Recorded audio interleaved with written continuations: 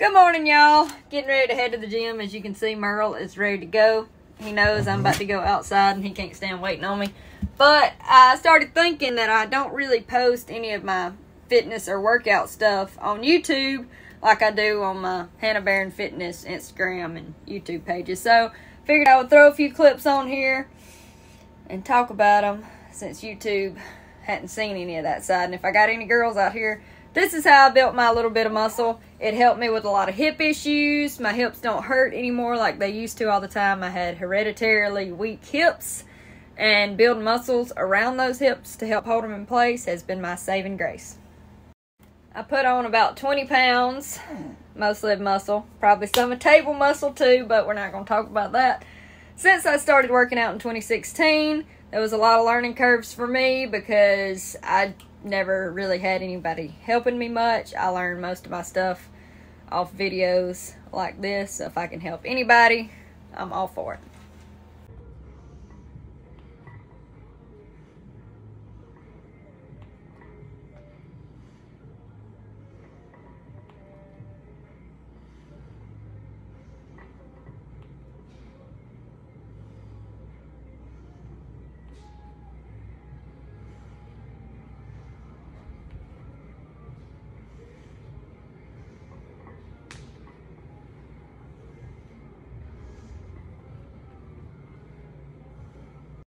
First thing in this video is the banded box squats. Um, I do box squats because they're easier on my knees, in my personal opinion. Um, if I do regular squats, I wear knee sleeves.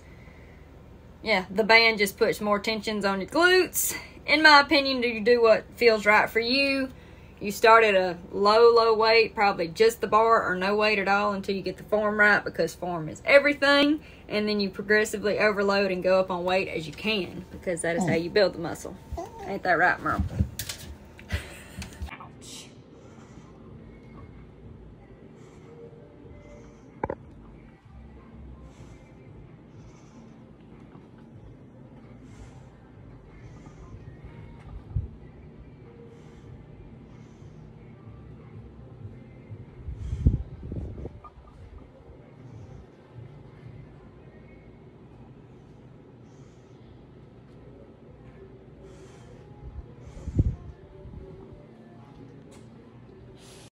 So I've been doing box squats and squats in general for years. Um, I used to do a lot more weight, but I dropped weight and started focusing on form and actually mind to muscle connection and feeling the muscles that I wanted to target, slowing down everything and getting my form right.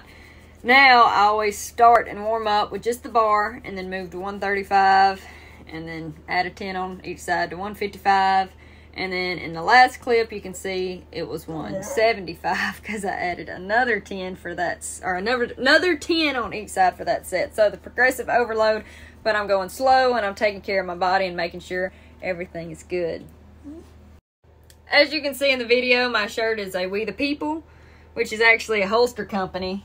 And they make some really cool holsters. This one is in Realtree Edge, which is one of my favorite camo patterns. So having that in the holster is awesome. And it is made specifically to fit my Kimber Micro 9. So it fits in there perfect. If YouTube wasn't so picky about pew-pews, I would show it. but it is one of my favorites. Um, if you follow me on Instagram or Facebook or even TikTok, you've seen me using a lot of their products.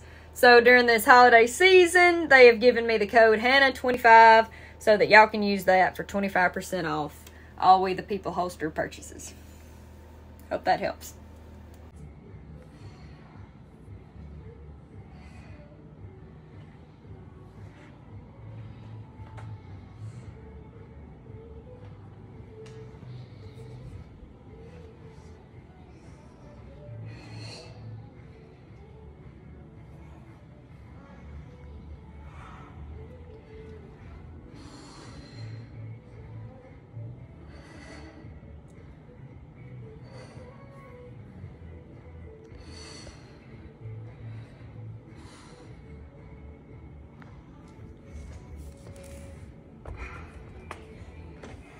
These are Bulgarian split squats and they are brutal. You can do them with a dumbbell like I was doing, holding it in one hand. If you want to, you can hold one in both hands. Um, you can use a barbell and put it on your shoulders. Anything, and the same with anything else. If you're new to it, I would start with no weight, get your form right, get used to the movements, and then move up from there as you feel comfortable. But you still want that progressive overload. And I usually always do some form of lunge or split squat or one of those kind of movements. Next, I will show y'all a curtsy lunge.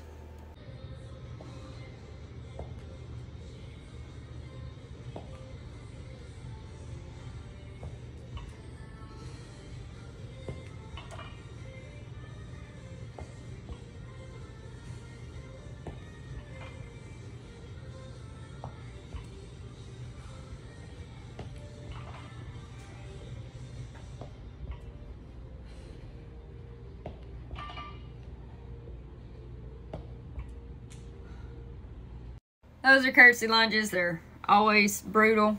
Um, that one's important to get your form right. It takes a while to kind of get that lunge down.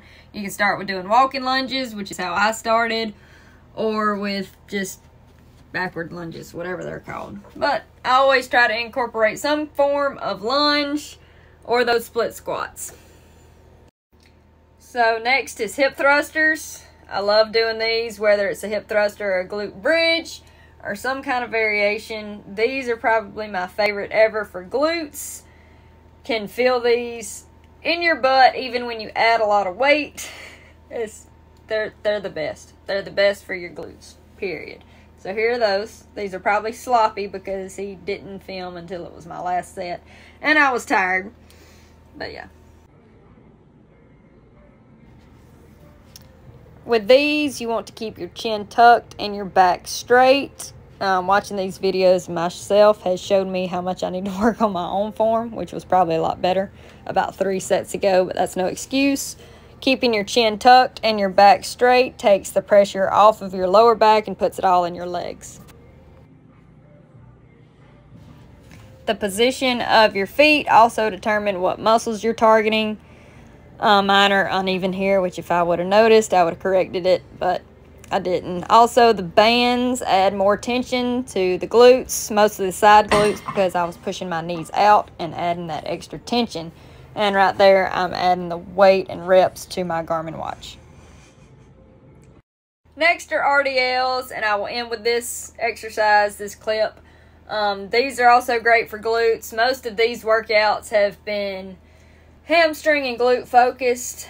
Squats are more, you know, quad dominant and all this stuff. But these are just some of the things I do when I go to the gym. Just figured I would share with y'all. Ending on this clip, it's not the best because I got distracted and I started talking. Mm-hmm. But y'all get the idea. Merle, I don't know what noise that was, but hope y'all have a good one. Appreciate y'all. Hey. Hey. Talked to your brother on the phone on the way here.